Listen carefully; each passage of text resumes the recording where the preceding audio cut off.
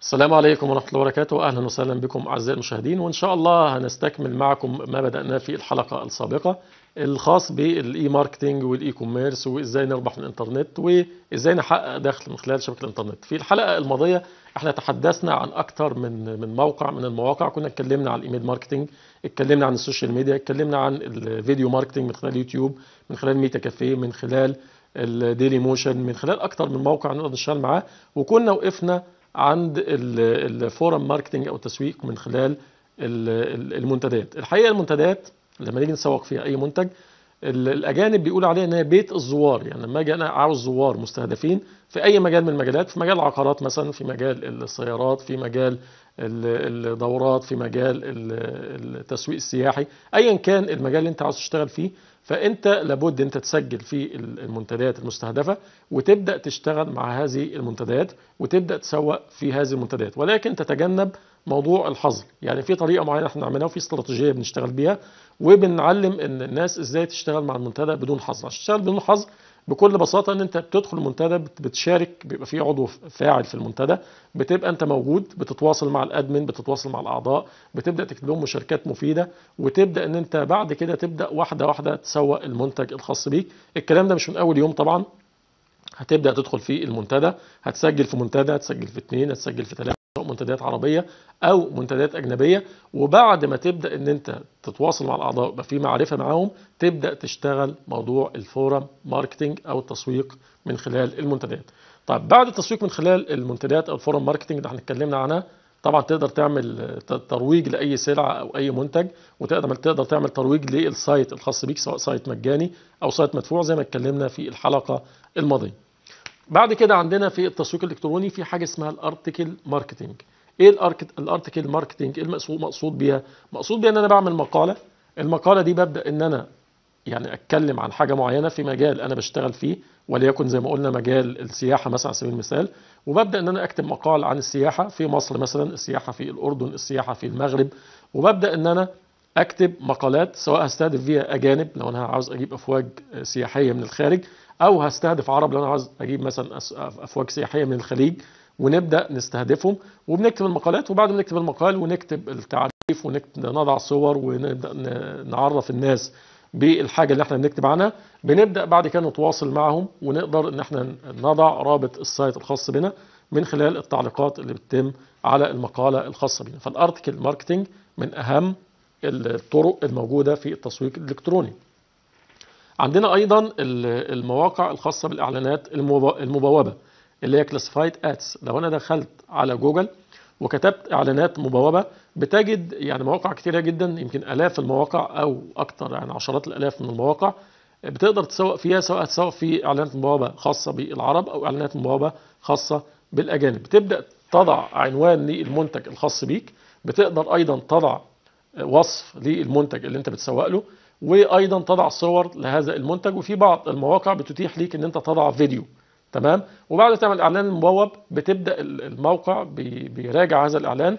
بعد ما تتم الموافقة على الإعلان بيتم نشر هذا الإعلان ويقدر أي شخص من أي مكان في العالم يقدر يشاهد هذا الإعلان ويشوف الحاجة اللي أنت بتسوق لها حسب الحاجة أو التخصص اللي أنت بتتخصص فيه في ال e-marketing طيب أنا عاوزك لما تيجي تعمل إعلان في مواقع ال free classified ads بعد ما الإعلان بيتنشر بيكون ليه رابط. الرابط ده يا ريت تاخده نسخ copy وتبدأ تعمل ليه ترويج بنفسك من خلال ال social media من خلال ال email marketing من خلال اليوتيوب من خلال Metacafe يبقى أنت ما تعتمدش على الموقع اعتماد كلي. لا أنا هعتمد على الموقع وأيضا أعتمد على نفسي لو أنا دارس تسويق إلكتروني وفاهم إزاي أعمل تسويق إلكتروني لأي رابط أو أي سلعة على شبكة الإنترنت.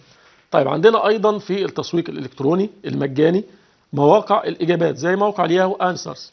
موقع الياهو ممكن إن أنا أدخل عليه وأبدأ إن أنا أعمل أكتر من account بطرح سؤال من خلال account وليكن account رقم واحد وببدأ أعمل إجابات. وبعد كده لما السؤال بي بينتشر ويعدي عليه يوم أو يومين أو ثلاثة ببدأ في الإجابات أعمل عملية تسويق للرابط الخاص بموقعي.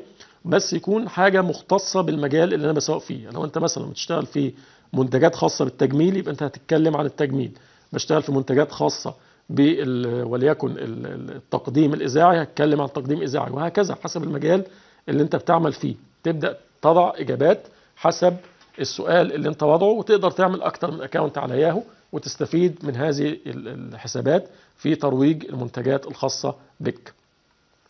طب إحنا كده اتكلمنا تقريبا عن أهم الحاجات الخاصة بالتسويق المجاني. نراجع عليها تاني. قلنا أول حاجة ال email marketing طبعا يكون عندك site في البداية بعد كده تعمل email marketing من خلال جوجل من خلال ياهو من خلال Hotmail ايا كان. بعد كده تعمل تسويق من خلال ال social media. اتكلمنا عن الفيسبوك اتكلمنا عن تويتر اتكلمنا عن LinkedIn واتكلمنا عن Google Plus. وأيضا تقدر تعمل تسويق من خلال ال video marketing اتكلمنا عن اليوتيوب اتكلمنا عن Dailymotion اتكلمنا عن Metacafe واتكلمنا عن موقع Vimeo. بعد كده تحدثنا في التسويق من خلال المنتديات بعد كده تحدثنا التسويق من خلال مواقع الإعلانات المبوبة بعد كده تحدثنا التسويق من خلال المقالات وبعد كده تحدثنا التسويق من خلال الإجابات زي إجابات ياهو. هنتكلم عن التسويق المدفوع. حقيقة الحقيقة التسويق المدفوع بيحتاجوا أكتر الشركات. يعني أنا عندي شركة مش فاضي إن أنا أدخل اقعد على الإنترنت كل يوم ساعة أو ساعتين أو ثلاث ساعات عشان أبدأ أعمل تسويق مجاني تمام؟ فهنشوف بعد كده ممكن إن أنا أشتري خدمة التسويق المجاني من أي موقع من مواقع الخدمات المصغرة على سبيل المثال. ولكن هيكون أنا كصاحب شركة هيهمني التسويق المدفوع بحيث إن أنا أعمل انتشار بسرعة ومش مشكلة لو أنا هدفع مبلغ ولكن هذا المبلغ هيعود عليا بالنفع. طبعا أهم شركة على مستوى العالم وأقوى شركة على مستوى العالم في التسويق الإلكتروني المدفوع. هي شركة جوجل من خلال الشبكة الإعلانية الخاصة بها هي Google AdWord. Google AdWord أنا بشترك في هذه الخدمة طبعا مجانا. يكون معك Visa card وتقدر تعمل إعلان أو تصمم إعلان تضع عنوان للإعلان وتبدأ تضع محتوى الإعلان وتضع رابط موقعك. ويبدأ جوجل ياخد الإعلان ده ينشره في أكتر من مكان. بينشره على المواقع التابعة ليه زي Blogger زي ال Gmail زي محرك البحث التابع ليه. بينشره أيضا عند الناس المشتركة معاه في خدمة اسمها Google AdSense ويبدأ يعرض حسب المجال اللي انت بتشتغل فيه. لو انت بتسوق العقار بيعرض في المواقع المشتركة معاه في مجال العقارات. لو انت بتسوق لمنتج آخر بيضع حسب التخصص اللي انت بتبدأ أو انت عاوز تسوق ليه على موقع جوجل. موقع جوجل أيضا تقدر إن انت تعمل معاه تسويق مهم جدا زي الإعلانات التلفزيونية اللي بنشوفها ولكن مش على موقع جوجل نفسه على موقع تابع لجوجل. ومن أكبر المواقع على مستوى العالم موقع رقم ثلاثة موقع ال YouTube ads إن أنت تعمل إعلان على موقع اليوتيوب. لو أنت بتفتح أي مقطع يوتيوب حاليا معظم الفيديوهات اللي بتجدها على اليوتيوب وبتكون معدية ل 10000 مشاهدة بتلاقي دايما في البداية بيظهر لك إعلان. الإعلان ده بيكون مدته حوالي 10 ثواني أو 15 ثانية وبيبدأ يظهر قدامك لمدة خمس ثواني وبعد كده يقول لك skip ads أو تخطي الإعلان.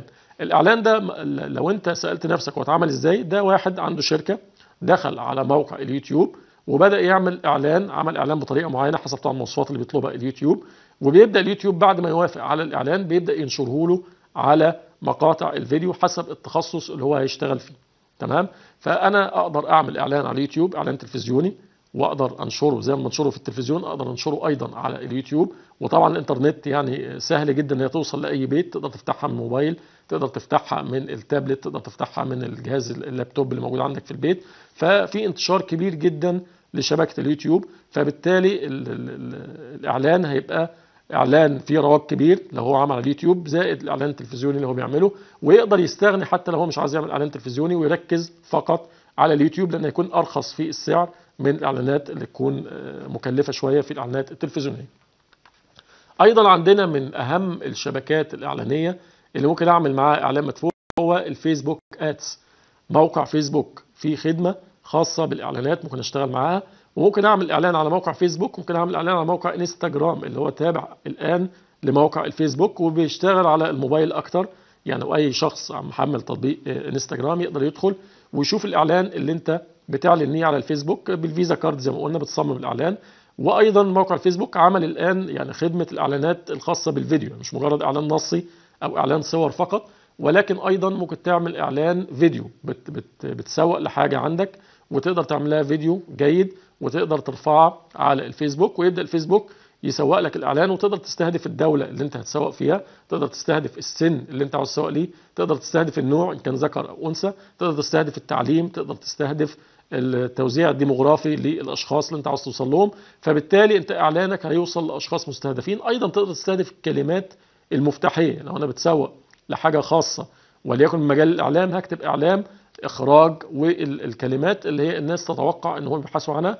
وفي مواقع كتيرة جدا ممكن تحصل منها على أهم الكلمات المفتاحية زي موقع اسمه keyword tool dot io بتكتب أي كلمة تحدد البلد ويبدأ يظهر لك كل الكلمات المفتاحية المتعلقة بهذه الكلمة تختار هذه الكلمات وتقدر تضعها في إعلان الفيسبوك وأيضا في إعلان جوجل. طبعا إعلان جوجل بيبقى أقوى بكتير من إعلان الفيسبوك. ليه؟ لأن جوجل بيعلن عنده وعند غيره. أما فيسبوك بيعلن عنده وعند الموقع التابع ليه اللي هو موقع إنستجرام فقط لا غير. عندنا أيضا موقع تويتر عمل خدمة الإعلانات المدفوعة. وطبعا يعني الموقع كبير جدا زي ما قلنا في الحلقة اللي فاتت هو منتشر أكتر في دول الخليج. فلو أنا عندي خدمة أو منتج عاوز أسوقه في أي دولة من دول الخليج يعني أنا بنصح إن أنت تعمل إعلان مدفوع بالنسبة للشركات أو الأفراد لو أنت معاك يعني سيولة مادية تعمل إعلان مدفوع في شبكة تويتر. أيضا من الإعلانات المدفوعة طبعا الشبكة الكبيرة العملاقة اللي إحنا اتكلمنا عنها اللي هي شبكة لينكد إن.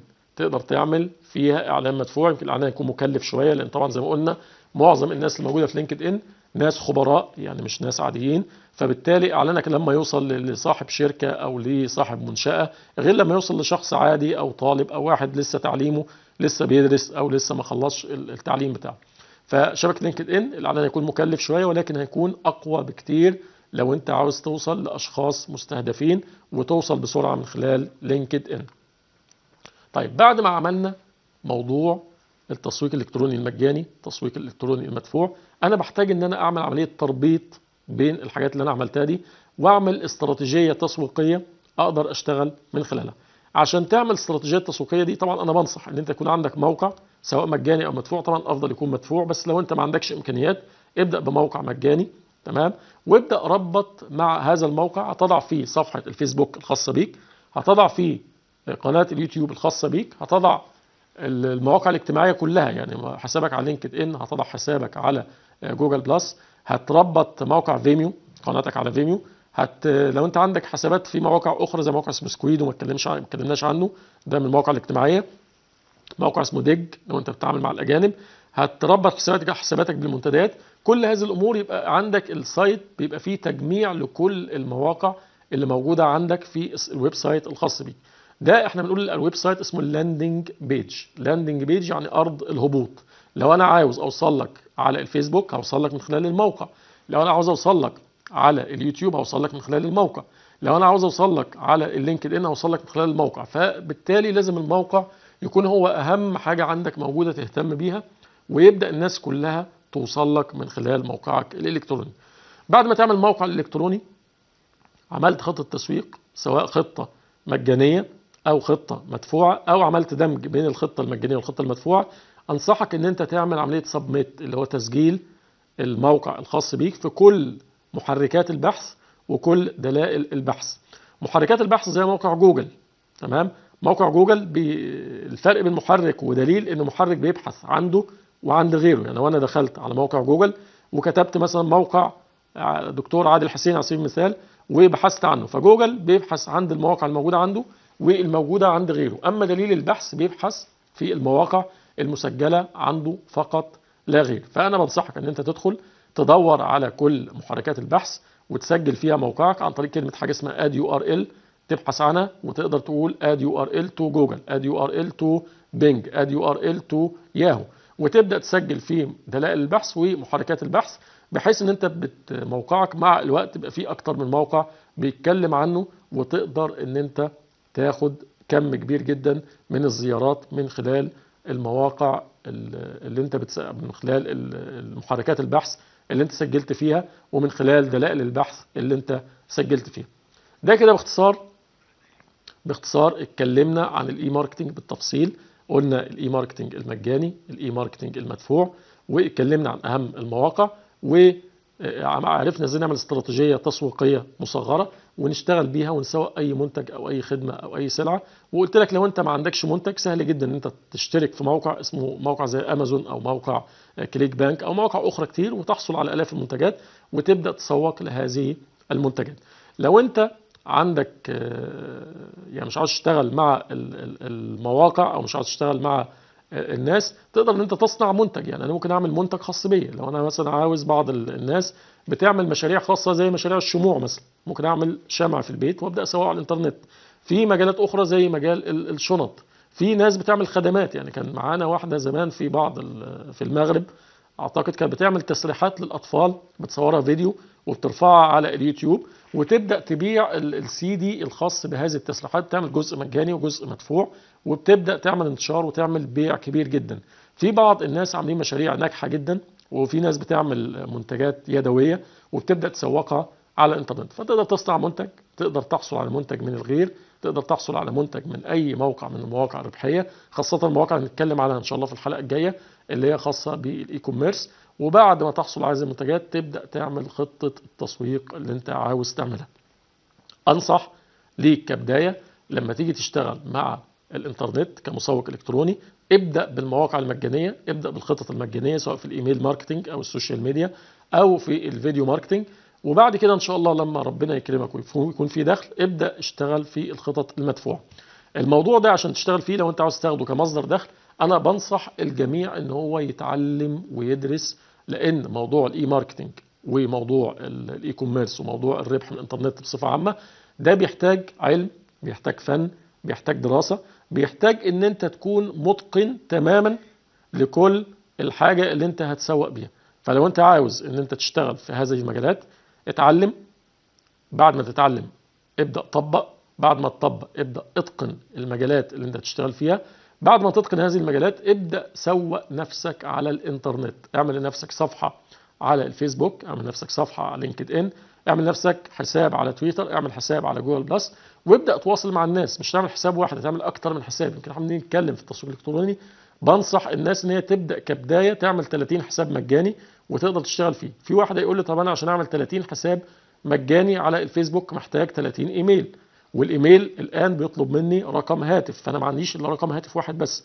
في مواقع كتيرة بتعطيك يعني أرقام التليفونات تقدر تفعل بيها حسابات الفيسبوك. تفعل بيها حسابك على تويتر زي موقع اسمه تكست ناو dot com تقدر تشتغل معاه وتقدر تعمل 30 account في يوم واحد أو في يومين أو في ثلاثة وتبدأ تشتغل بيهم وتزود الاكونتات اللي موجودة عندك لأن كل account من دول بالنسبة لك هيكون ثروة خاصة لو في جمهور مستهدف وفي ناس عارفاك وفي ناس بتتواصل معك من خلال ال social media من خلال كل وسائل التواصل الخاصة بال e-marketing إحنا النهارده وفي الحلقة السابقة تحدثنا عن ال e-marketing اللي هو الأساس للربح من الانترنت وكانت عناوين الحلقات كيف يربح الناس الانترنت إن شاء الله الحلقة الجاية والحلقة اللي بعدها هنحدثكم على أهم المواقع ونبدأ ندخل فعليا في مجال الربح من الانترنت أشكركم جدا ولو في أي استفسار أو في أي حاجة أنتوا عايزين تتواصلوا معايا يعني يا ريت إن أنتم تبحثوا على الإنترنت ابحثوا على الاسم عادل حسين واتواصلوا معايا في أي وقت إن شاء الله نسعد بالتواصل معكم.